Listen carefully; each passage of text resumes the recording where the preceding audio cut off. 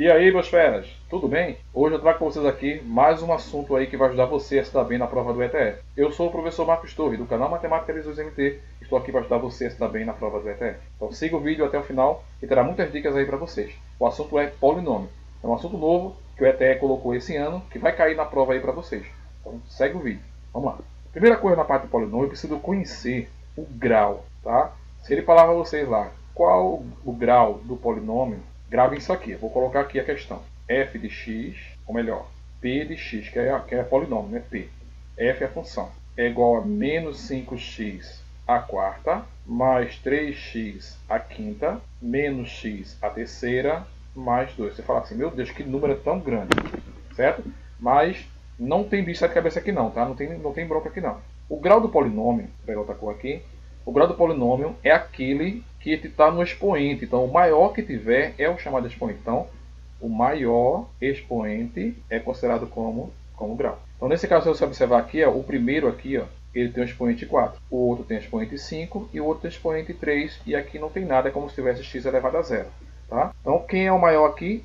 O 5. Então, eu posso dizer que ele é do quinto grau esse polinômio. Só isso, tá? Pega aí a questão, que no caso o expoente que você tem, e pega o maior grau da questão. Vou colocar mais um aqui para vocês. Então, o p de x é outra função, é outra, é outro polinômio, vezes x a quinta, menos 6x a quarta, menos 2x a terceira, mais 5.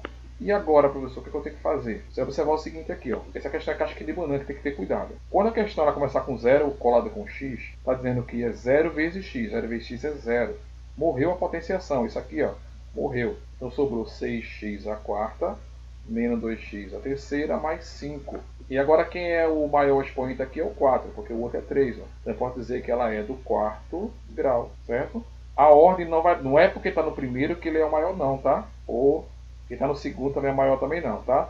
Ele pode estar em qualquer posição aqui. Qualquer posição que ele tiver aqui, ele pode estar. Então você vai observar o expoente dele para dizer qual é o grau dele na questão.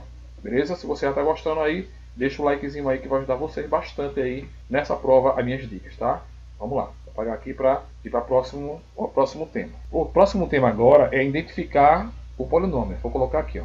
P de x, que é o polinômio, 4x a quarta, menos 3x a terceira, menos x ao quadrado, menos 5x mais 2. Tem um polinômio aqui bem grande, começando pelo 4. Pela lógica, o grau aqui é 4, né? mas eu não quero grau aqui, eu quero isso aqui. Ó. Eu quero coeficiente, que eu preciso conhecer, tá? tem que saber isso aqui, tá? Termo do polinômio, termo do polinômio. Também eu tenho termo independente, certo? E variável. Então, tudo isso aqui eu tenho que ter no polinômio.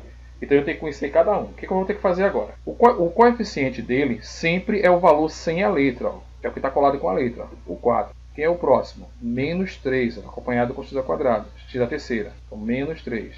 O outro, ó, quando não tem nada aqui na frente, eu tenho um 1. Então é como se fosse menos 1. O outro vai ser o próprio menos 5, certo? Menos 5. E o último, para finalizar, o 2, certo?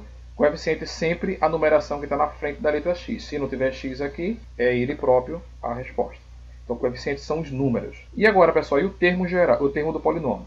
O termo do polinômio são o seguinte: o termo dele na questão é exatamente isso aqui. Ó. O termo total, o primeiro termo, aqui eu tenho o segundo termo e assim por diante. Então, os termos são 4x a quarta, menos 3x a terceira, menos 1x ao quadrado, ou só x ao quadrado, menos 5x e o 2. Isso aqui são os termos de todo o polinômio.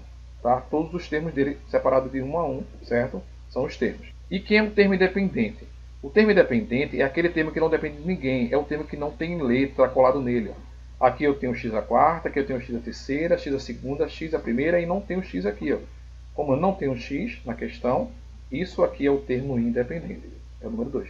Ele tem que ter x para é, não ser independente, para ser dependente, e quando ele fala assim independente, ele não depende de nada, então é aquele que não tem x, certo? Variável, variável é, ela, ela é relativa aqui também, aqui, tá? O que acontece? Aqui, no, aqui é x, ó, tudo x, mas pode acontecer de ser a, pode acontecer de ser b, pode ser acontecer de ser y, então a variável é isso. Nesse caso, aqui a variável aqui é quem?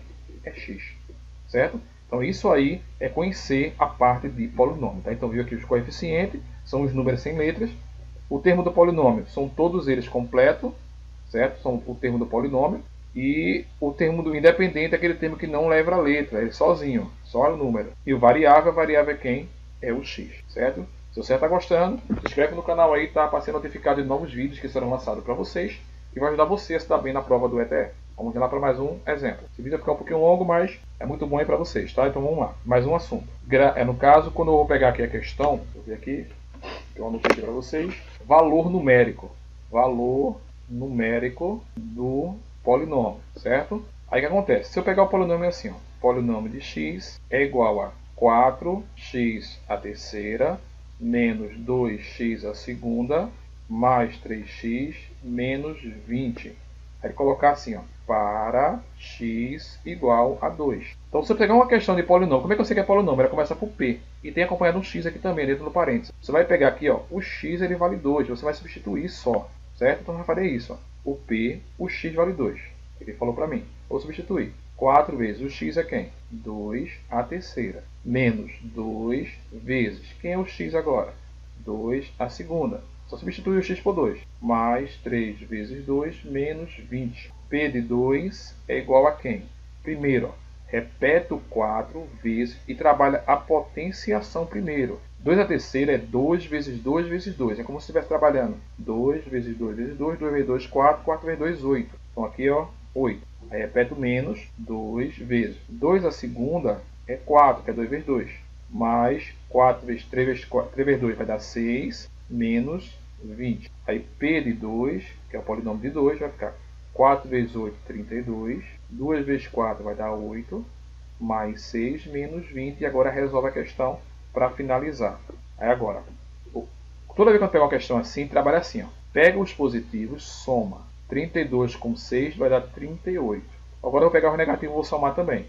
Menos 20 com menos 8 dá menos 28. Subtraindo aqui, eu posso falar que o P de 2 é a mesma coisa que 38 menos 28 é igual a 10. E aqui ó, acabou minha questão. Aonde foi x, eu coloquei o 2 e encontrei minha solução como resposta. Tá? Pausa bem direitinho aí. Usa essas regras aí passo a passo para vocês não errarem. Coloque em prática tudo isso aqui e vai dar tudo certo para vocês. Depois eu vou fazer um vídeo 2, continuando o assunto de polinômio para vocês, com subtração e soma e multiplicação de polinômio para vocês. Tá? Esse aqui vai ser o chamado de vídeo 1 para vocês aí. Eu vou ter o vídeo 2, continuação de polinômio. Se você gostou, deixa o like. Se você é, quer ter mais vídeos como esses aqui, se inscreve no canal que eu vou estar trazendo mais vídeos para vocês aqui. Aqui em cima no, na descrição vai ter vídeos para vocês também com muitos assuntos da prova do ETE, né? E aqui na frente também vai ter dois vídeos bons aí que vocês podem seguir aí, que vai dar um, você vai ter bastante sucesso na prova de vocês. Até o próximo vídeo, se Deus quiser.